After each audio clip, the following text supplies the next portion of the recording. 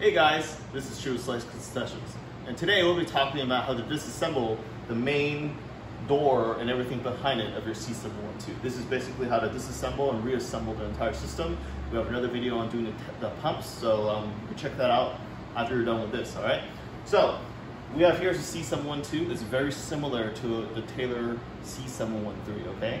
So, most people have the regular black knobs, but in this case, we do have like a special setup that was requested by a specific customer. So we have locking pins, all right? Not too bad, but it's a very similar idea. So let's get this thing disassembled. All right, so first with the pins, you have to unscrew the top to allow this locking part to come off. And you're gonna drop the, the locking pin through, all right? The reason we have these is because we've seen sometimes that, you know, vibrations can cause these head bolts to come loose. So what the pin does is it locks it in place and doesn't allow any movement so when the system's under pressure, nothing will burst out, all right? And uh, it's never fun. You come in with a bunch of ice cream on the floor and all over your machine. So let's take this off first. Slide through the bottom. Make sure to put this back on so you don't lose it. All right, everything from here on will be pretty standard, but we're gonna show you how to do it anyway. All right, so first you're gonna take off all your head bolts. Oh, a little tight. There we go. May need a rag.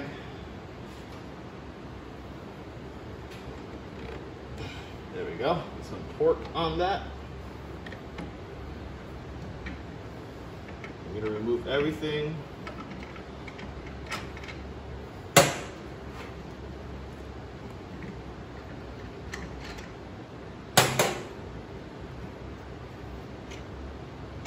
You're gonna go ahead and pull off the door, all right?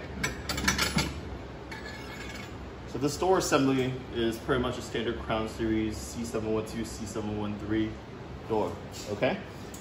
We're gonna do the same deal. The, the, slight differences with the pump machine is your, your plastic guides are gonna be a little thinner. As you see, it's uh, physically fitting into a different auger or beater assembly, okay? So the pump style assemblies always have these guides and different style blades. You're gonna see that in a minute. So these come off first. Same deal, I'm gonna remove all your O-rings your door seals. You're gonna remove your door handle pin. So that comes out. You go ahead and pull everything out.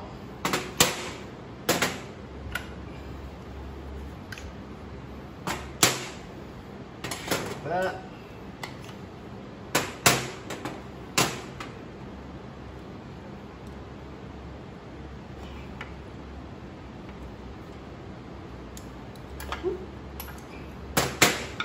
go. I'm gonna pull out your bleeder tubes.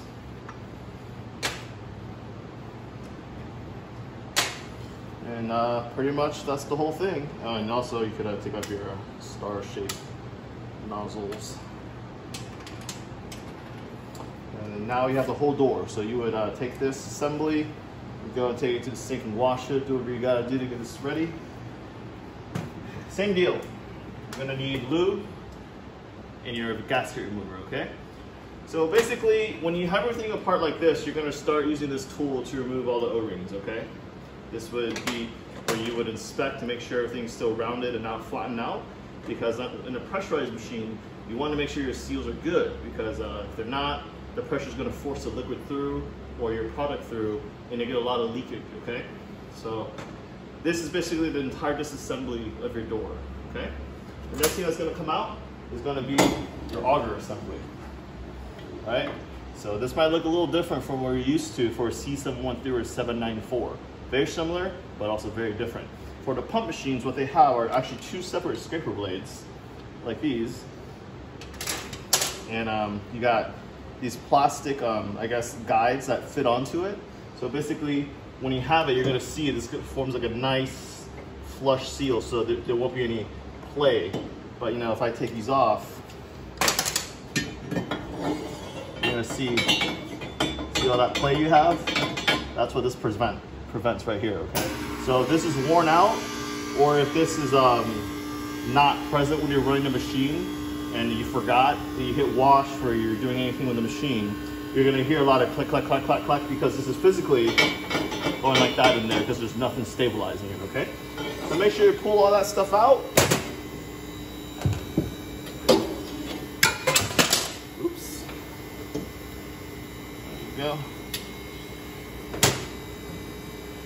And the last part you're gonna pull out is your is your beater shaft.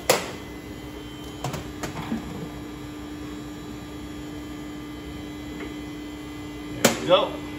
And now the whole thing's empty, all right?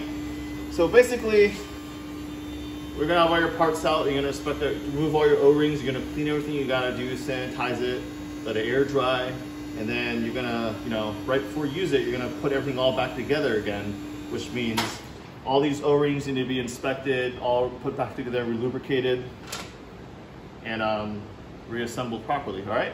So let's start from back to front in terms of reassembly, okay? So everything we just did to get everything out to clean, now we're gonna show you how to put everything back in. All right, so this is this is pretending we just cleaned everything, all right? So just assume everything is clean, we're gonna run a simulation like this. All right, so we got our beater shaft, the O-ring, and the beater shaft seal. So basically if this goes bad, you're gonna have a lot of product coming out the back and it'll leak out through here. So if you see a lot of leakage here, check this guy, okay? Because uh, probably one of these failed on one of the sides. So what you're gonna do is you're gonna lubricate it. I put some right in there. That in there. Turn and lock. Make sure it's all the way in. All right. We'll repeat that with the other side.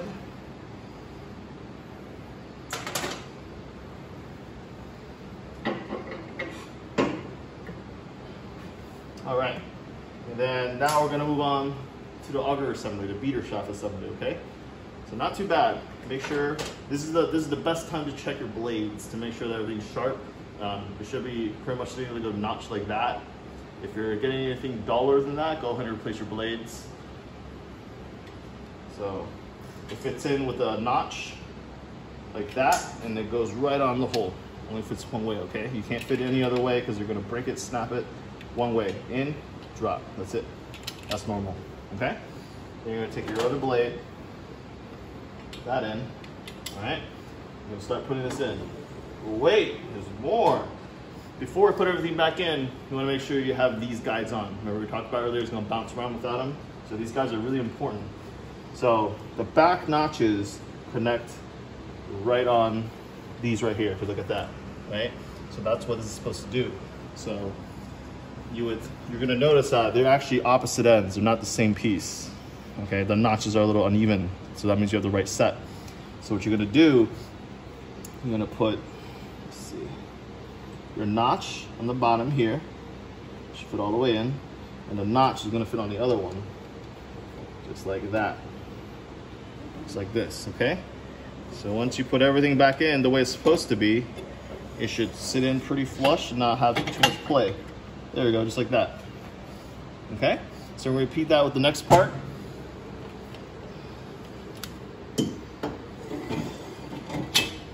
Turn and lock.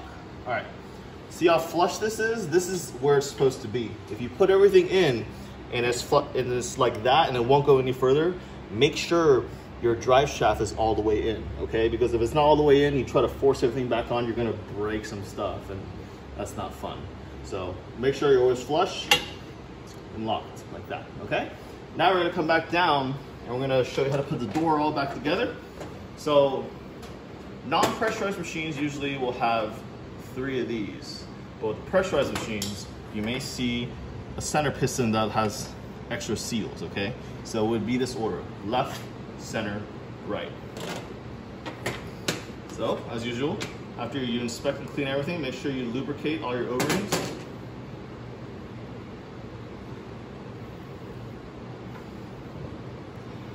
And then you repeat for the center.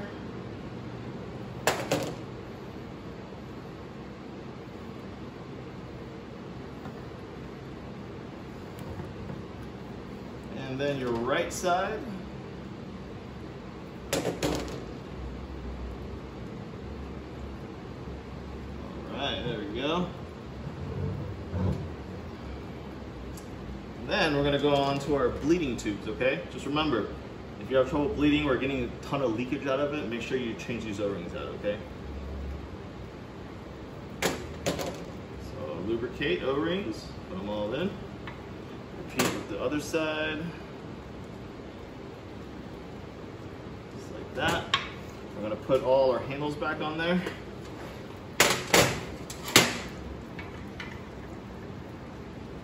All right. So make sure this is your um, flow adjustment. So the more out of it is, like the more it blocks, so you get less flow. If you turn this clockwise in, it actually shortens the distance so you get more flow when you when you pull down on your handle. Make sure you put in the right notch. Go.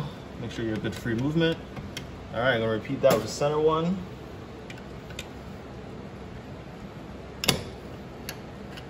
You got good movement. Your last one.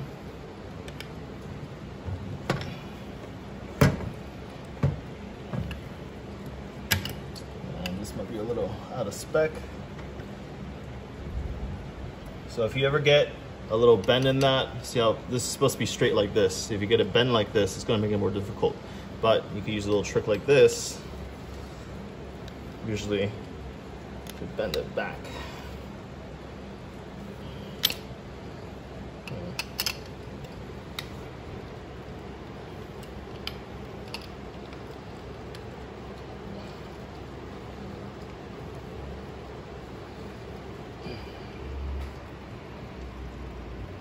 There we go.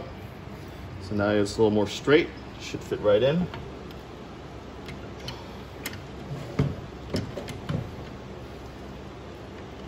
There we go. Fit right in. Everything lined up. Lock it. Good movement. Good movement.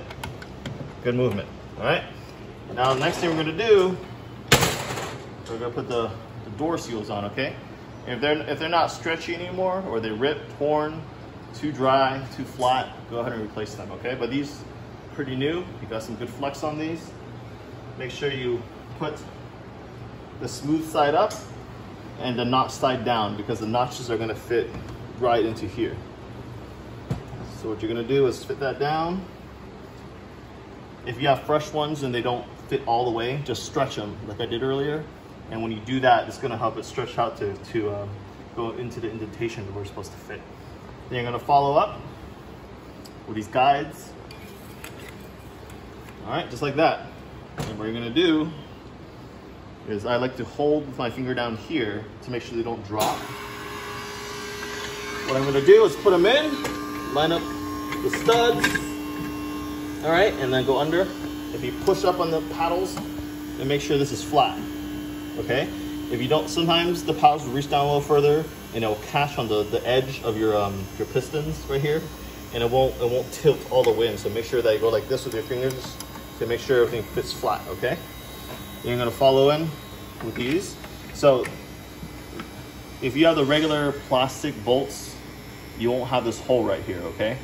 So the, the you know the reason for the hole is to make sure they don't vibrate out. So when you put these all together, you make sure that they're all up and down. They're all gonna fit. We're gonna show that in a minute, okay?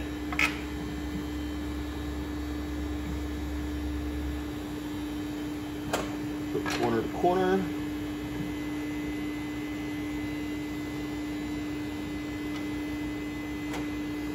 And then the rest.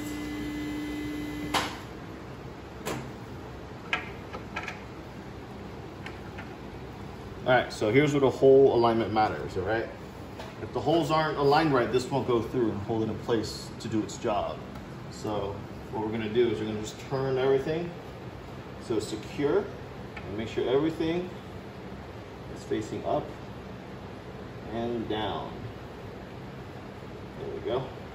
So the first side's done. I'm gonna stick this through the bottom, here, and then we're gonna take the locking nut and just screw it on hand tight.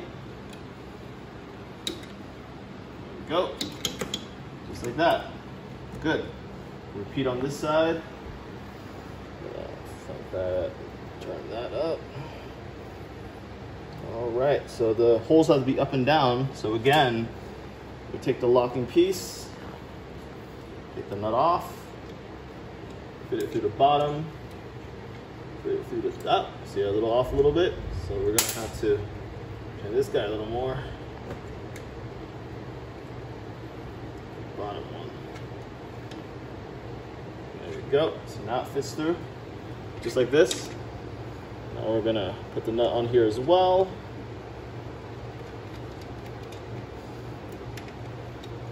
All right, nice and secure. Now I'm gonna put the last few pieces on here, which is our star uh, nozzle pieces. And there we go. So this is the ending of the video of how to disassemble and reassemble everything on your Crown C712 from Taylor. And the next video we're going to have up to you, uh, along with other information, is um, including you know the pumps and how to prime your barrel and uh, all that stuff. So we'll see you on our website. All right. Have a great day.